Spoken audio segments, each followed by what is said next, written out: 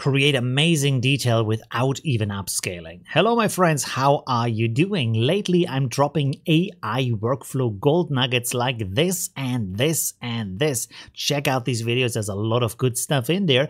But today I want to talk about something called a detail tweaker and this can be used even with low resolution images to give you amazing detail. Let's get started.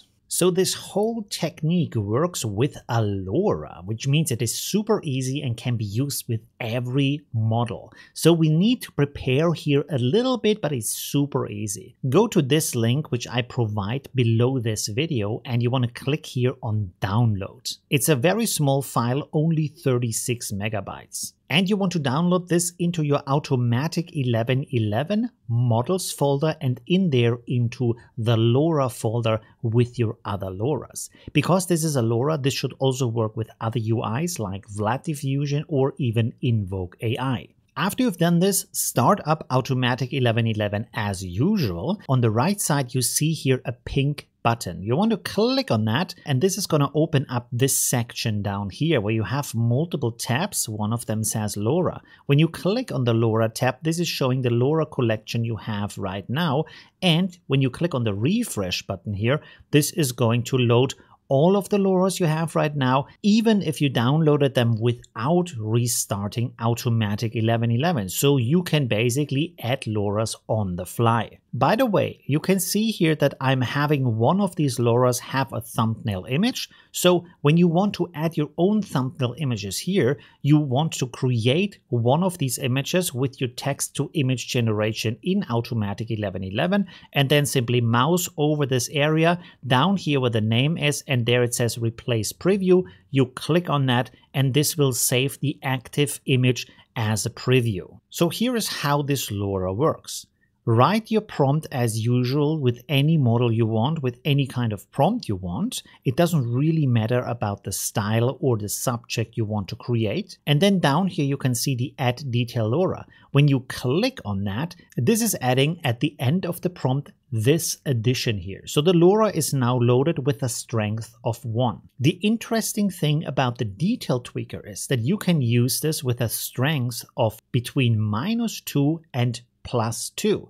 And of course, you can also go here with smaller values, for example, 1.2, 1.5, 1.8, so it doesn't have to be full numbers. Here you can see an example that is using several of these values from 1.5 to minus 1.5. Now, the interesting thing here is that you can see that this will not only add detail, you can also reduce the detail in the image, and that can be good if you want to have a more simplified style or a more cartoonish style that can really improve your image. But also in the positive direction, you can see that this will add a lot of detail. When the value is very high, it might even add too many details. However, as you can also see with this preview, there is a caveat with using this LoRa because it will change the appearance of your image. I will show you a trick in a second on how to avoid this. But before that, I want to show you how you can start this test range here and also get it named at the top. So after you've written your normal prompt, you want to copy this addition here with the LoRa. Go down here where it says script, click on the pop down menu and select the XYZ plot. In here, you're going to select from another pop down list the prompt SR, which stands for search and replace. When you have this in here, you're going to copy the text in here once and then separate the same text multiple times with a comma and change the weight value of the LoRa. It is important that you have in the first place here the exact same text as you have in your prompt because it is searching for this first text here and then replacing it with all of these other texts after that. At the last position, don't make a comma because otherwise this is going to render an extra image without the LoRa at all. After you click here on generate, this is going to render through all the images and create an overview grid for you as you can see it here. This method can be very effective and fast to test out different settings. Now, as I said, I also want to show you a way to use this LoRa without changing the image. So I rendered one of the images completely without the LoRa. Now let's go to applying the LoRa and for that we're going to click here to send to image to image. With our image in place, we're going to again click here on the pink button